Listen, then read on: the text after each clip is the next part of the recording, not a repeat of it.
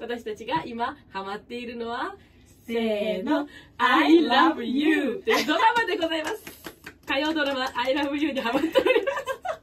手をく手をくゆりさハんマってるね。もううん。でもそれが分かったのは昨日電話してる時でしたもんね。そうだね私水木はもともとカンドラとかそういう、うん。なんていうか恋愛ベタな恋愛もののドラマとかよね。めっちゃ好きでよく見てて今まで見た中で一番好きなのはあの韓国ドラマの「弓の細胞たち」ワンツー全てあの2週ぐらいしたんですけど、が好きで直先生はなんかドラマなんかなんだろうな私と直先生のドラマの趣味っていうんですか、うんが合うことはそんなにたまにしか、うんもう話題作でぐらいしかないから、あんなテレビの話とかはあまり我々はしないんですけど、うん。